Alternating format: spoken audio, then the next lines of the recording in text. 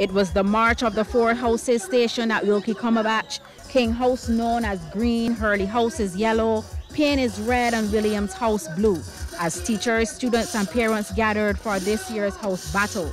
Onto the track we go as we take in the under 13 girls and boys 100 meters. The girls are off the mark, heading to their destination. It was Nazaria Brathwaite taking the win, leading the duo of King House, Kalia Fitzpatrick Blackman, and Lauren Hines into second and third respectively.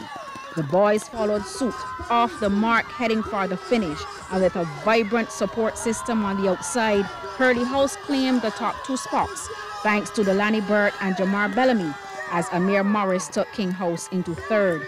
Under 9 150 meters now, the girls of this younger division turning their only bend as they straighten for the home stretch. Pushed by their house stewards, the field fought to reach the line, and it was Zuri Stout of Williams House tipping Kaylee Howard Jones of Hurley House at the finish. Kaylee Trotman King of King House was third. The boys were up next. Same mission to win and get house points.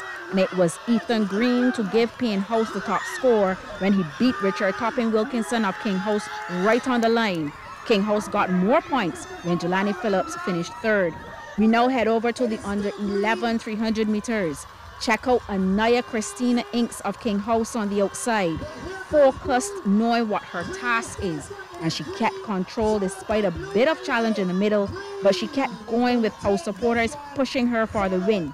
Chelsea Yard of Williams House was second, and Araya Allen of Hurley House was third. And then it was the turn of the boys. Look at the dominance of Jaden Hines Grisettes in the yellow shirt from Hurley House, determined that these points will go to them cruising on the track as he eased home with the win. Neymar Allen and Jelani Phillips gave King House second and third spots, respectively. Mellissa Farley, CBC Sports.